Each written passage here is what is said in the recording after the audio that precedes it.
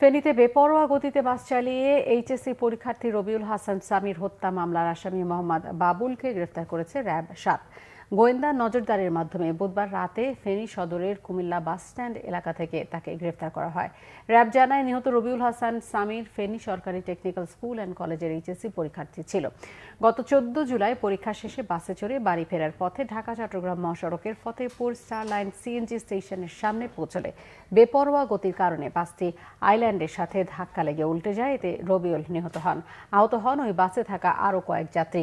এ ঘটনায় নিহতের বাবা একটি হত্যা মামলা করেন।